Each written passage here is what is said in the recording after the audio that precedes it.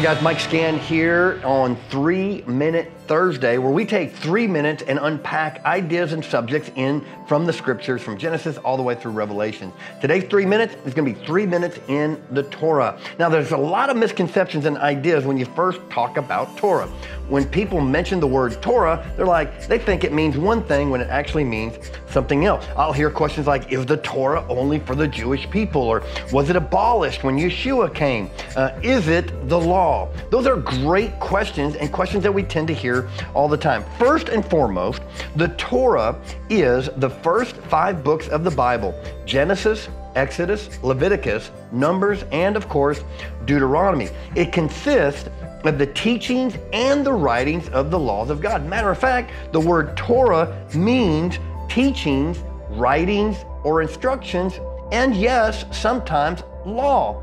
But unfortunately, in most of the Bibles that we have today, the word Torah was replaced with the word law by the translators. And so some believe that was done on purpose. Some would say it was just an accident in translation.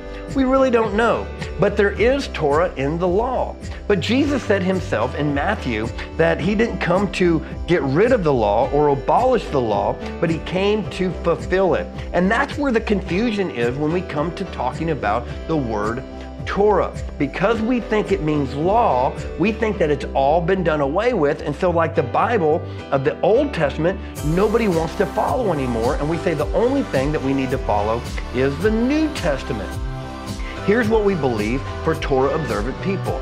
It's all relevant. From Genesis to Revelations, the Torah is God's writings and instructions uh, and it is some of his law. The word that gets confused is the word that we hear that means fulfilled. The word fulfilled comes from a Greek word and it actually means to accomplish or carry out. Jesus, the Bible says, was the Torah made flesh. He became flesh. As a matter of fact, as we wrap this message up, I want to remind you on some things that Jesus said.